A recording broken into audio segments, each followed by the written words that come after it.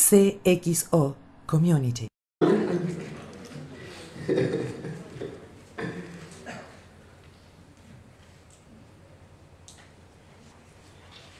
Bien, Néstor Rejas es gerente de oferta, mercado y desarrollo, dirección de marketing de Telecom Argentina. Va a hablar de teletrabajo en la nube. Casualmente estamos haciendo algo de, de unos cursos, cómo instruir a los gerentes a usar el teletrabajo.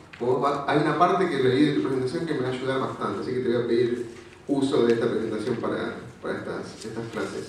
Sólida experiencia profesional adquirida en empresas de telecomunicaciones desde el 1988, 11 años en funciones gerenciales, visión integral de negocio de las telecomunicaciones con enfoque en el diseño, desarrollo y comercialización de productos. Estuvo entre, sus empresas donde estuvo eh, ejerciendo sus funciones, Telecom Argentina actualmente, Plan Telecomunicaciones, IMSAT, Sociedad Anónima y NEC Argentina. Néstor, lo que necesites, estoy a tu disposición. Bueno, buenos días a todos, gracias por la presentación. Eh, bueno, yo soy moverme bastante, así que este, la, idea de la presentación de hoy, como lo dice el título, es eh, contarles eh, teletrabajo en la nube. Básicamente podemos decir que se va a dividir en dos la presentación porque quiero arrancar con lo que fue la experiencia de teletrabajo en la empresa, en Telecom, todo el proceso de, implementación. Somos una de las primeras empresas que lo ha hecho a escala y en conjunto con el Ministerio de Trabajo, de las cuales han surgido muchas cosas interesantes que les voy a contar. Y la segunda parte que está más orientada a lo que es la solución estándar que estamos lanzando el 2 de septiembre al, mercado para que eh, tanto organizaciones públicas como privadas puedan eh, implementar programas de teletrabajo. Así que bueno, eh, en orden cronológico, en el año 2008 empezó en la, empresa este tema de eh, teletrabajo, de los más de 10.000 empleados que tiene la empresa, eh, de empezar a pensar un esquema donde dejaran de trabajar en un lugar específico, sino que pudieran hacerlo de forma remota, ya sea de sus casas o de otros lugares este, de la empresa también. Eh, en el año 2009 es donde comenzó la implementación en forma más fuerte. Eh, esto fue algo paulatino, con distintas etapas, eh, planificado. Al final de cada etapa se hacía una evaluación de, los resultados de esa etapa, donde bueno, las encuestas y las evaluaciones tanto a los colaboradores como a los jefes eran importantes para poder planificar mejor los pasos a seguir. Eh, en el año 2010 eh, implementamos el primer servicio de puesto virtual o desktop virtual en clientes, en soluciones que en grandes clientes diseñamos obviamente desde hace muchísimo tiempo para eh, soluciones ad hoc, no a medida. y alcanzamos en el año 2012 mil trabajadores de Telecom dentro de la modalidad de teletrabajo. Y lo que les he comentado recién, en el 2013 enfocamos a toda esta experiencia que fuimos adquiriendo durante este tiempo y la capacidad tecnológica de la compañía para esta solución poder este, productivizarla y comercializarla. ¿Cuál es el, alcance de, teletrabajo y la implicancia dentro de, Telecom? Podemos dividirlo en, básicamente en dos dimensiones, la social y la económica, y en dos ejes, el interno y el externo. Lo que es la, dimensión social tiene que ver con todo aquello que, impacta en, las personas. En el caso eh, del eje interno son nuestros colaboradores, eh, donde bueno, ahora vamos a ver más en detalle, pero eh, las cosas que surgen como, como más destacadas este, es la mejora del clima laboral, este, la articulación, esta vida de trabajo, que ahora les voy a comentar un poco más, hacia afuera, externa, todo lo que tiene que ver con el impacto en la, comunidad. Eh, se generan ahorros también, eh, como la energía eléctrica, esto tiene un impacto positivo en el medio ambiente, mejora la imagen de, la compañía, la imagen de marca.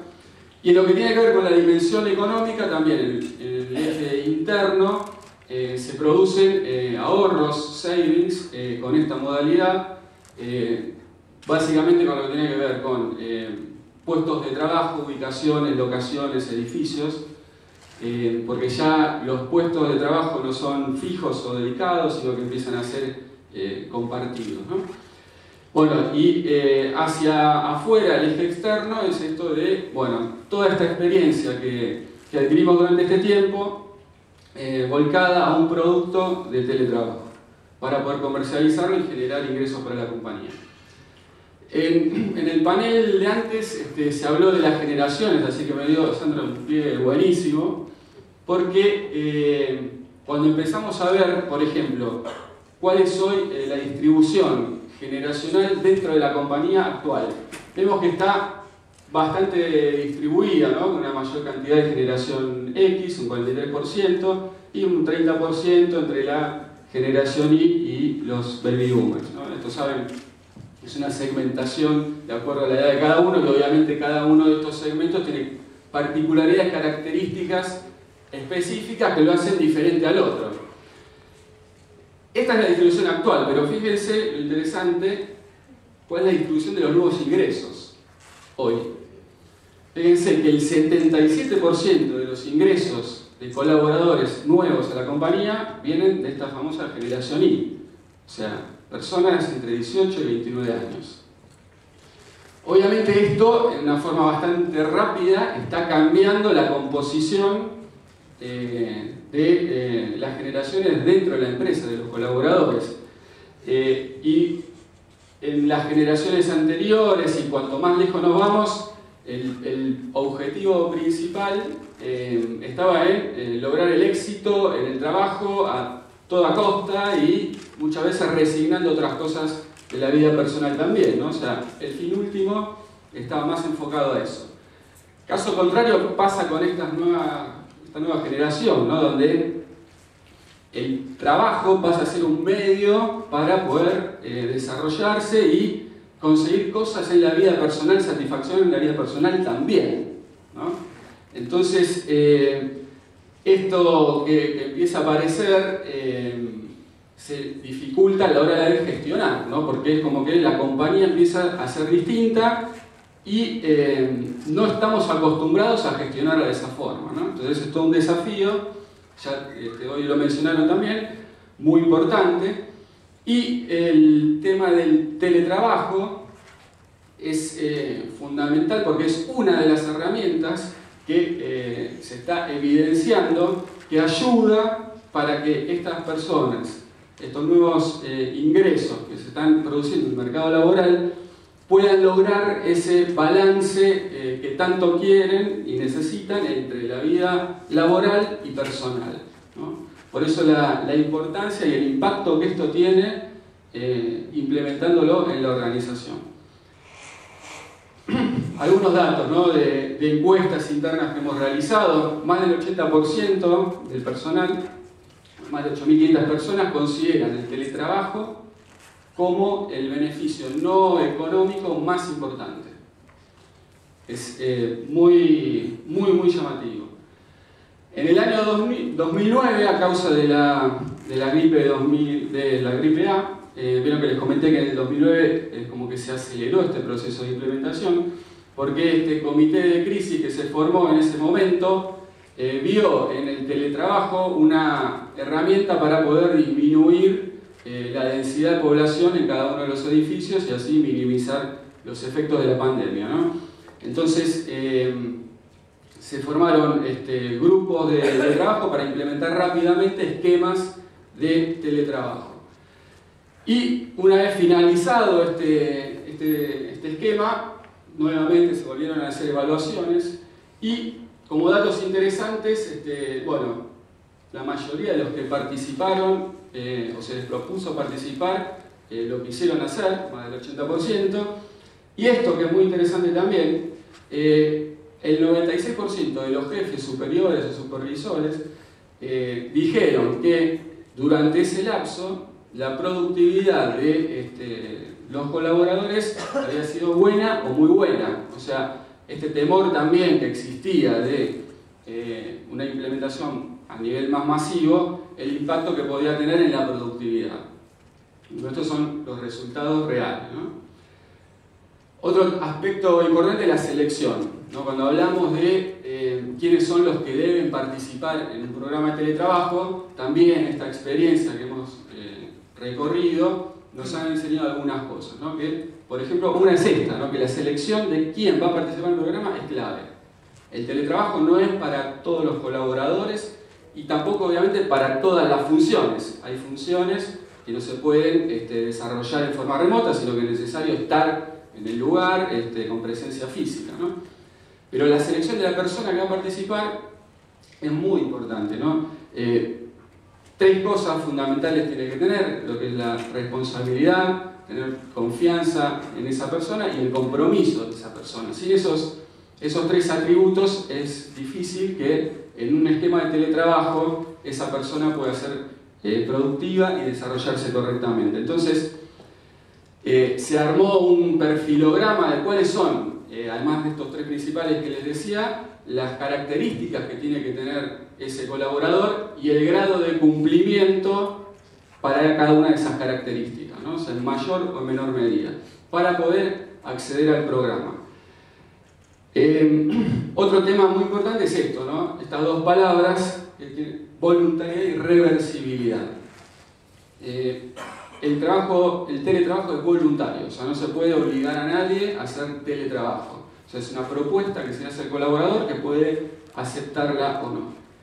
Y la reversibilidad también es importante. Esto significa que, eh, como les decía antes, eh, Telecom colaboró con el Ministerio de Trabajo en todo lo que es la normativa del teletrabajo en Argentina. Entonces eh, se firmó un acuerdo marco entre Telecom y el Ministerio de Trabajo que establece cuáles son eh, las pautas generales y después lo que se firma es una adenda a ese contrato con cada uno de los colaboradores. Esa adenda establece que el periodo de teletrabajo es de seis meses, pero avisando con 15 días de anticipación cualquiera de las dos partes puede eh, rescindir y volver a la modalidad de trabajo tradicional. Uno puede pensar que es solamente desde la empresa hacia el colaborador, cuando por ejemplo ve que no está rindiendo como debería, pero eh, el primer caso que tuvimos es este, paradigmático y llama la atención, porque realmente es así también. Hay casos que los empleados quieren volver a la modalidad tradicional. El primero que tuvimos fue una persona que cumplía, excelente colaborador, cumplía con la responsabilidad, compromiso, la confianza. Este, desarrolló una tarea muy importante, se instalaron todos los sistemas para pudiera acceder en forma remota y demás. Es un trabajo importante y al poco tiempo pidió eh, dejar de teletrabajar. Cuando se preguntaron cuáles eran los motivos, eh, eh, que, bueno, que se había separado recientemente de su pareja y que estaba todo el día solo en la casa y se sentía mal, que necesitaba contacto con la gente.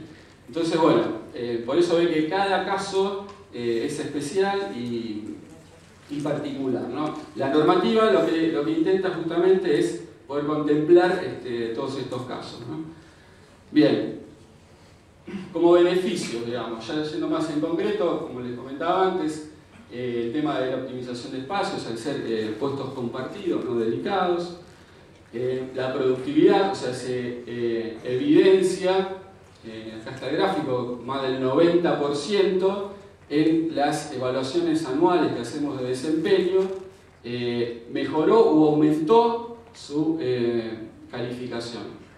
¿ah? O sea, hemos comprobado que el teletrabajo es positivo y que digamos, colabora a que eh, la productividad aumente. Eh, y tiene mucho que ver con esto de eh, la parte personal, ¿no? Cuando uno se siente bien con la tarea que está desempeñando y la forma en que lo está haciendo, el compromiso y la forma en que realiza las cosas, como decía antes también el panel, es distinta. ¿no? Está mucho más comprometido y más satisfecho personalmente. También se ha reducido el ausentismo, y esto también interesante el turnover, attraction, retention, es que ya todas las personas que están ingresando, 8 de cada 10 jóvenes profesionales se interesan en esta modalidad y lo ponen en la balanza al decidir ingresar en una empresa u otra.